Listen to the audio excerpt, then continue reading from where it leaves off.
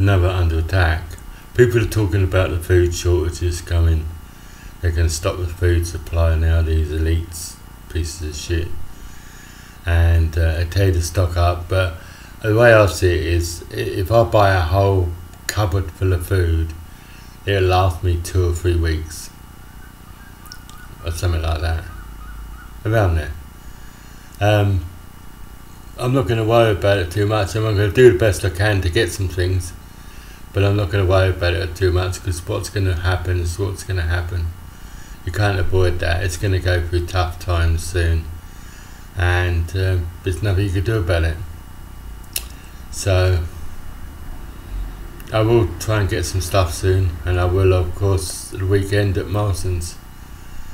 Uh, but uh, you know, you can do the best you can But when it happens, it's going to happen, and we've all got to face that.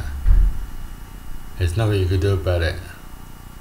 I'm not going to go around panicking like a lunatic. I'll just go at my own pace and I'll do what I can. But I will get some stuff I can.